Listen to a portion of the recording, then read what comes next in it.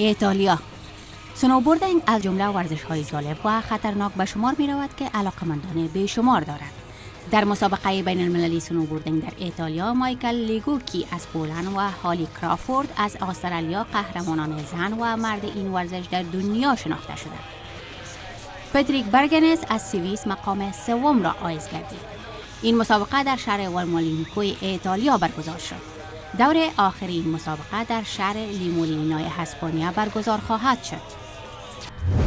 پری دریایی دنمارک مجسمه معروف مارمیت یا پری دریایی پس از 96 سال شهرت آن از سوایل کوپنهاگن در هفته گذشته برای یک نمایش سرتاسری در جهان به شانگهای فرستاده شد. مجسمه که 1.5 متر بلندی قامت آن است به افتخار هانس کریستین هندرسن داستان نویس معروف دنمارکی ساخته شد که توسط تراکتور و کرن از زمین بلند شده و طی مراسم خاص در پایتخت دنمارک قرار داده شد. وزیر اقتصاد و تجارت دنمارک می‌گوید با گردانیدن معروف ترین ستاره دنمارک به کشورهای مختلف فرهنگ این کشور به تمام دنیا معرفی خواهد شد.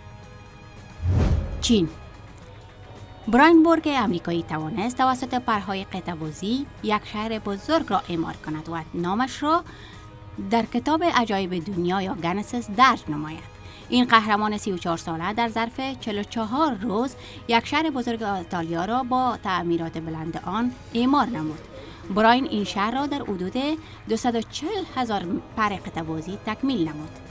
وزن این شهرک ساختگی حدود 270 کیلوگرم می باشد براین از سن 8 سالگی به ساختن اشیای مختلف آغاز نموده بود و اکنون توانست با این ابتکار در جهان شهرت یابد.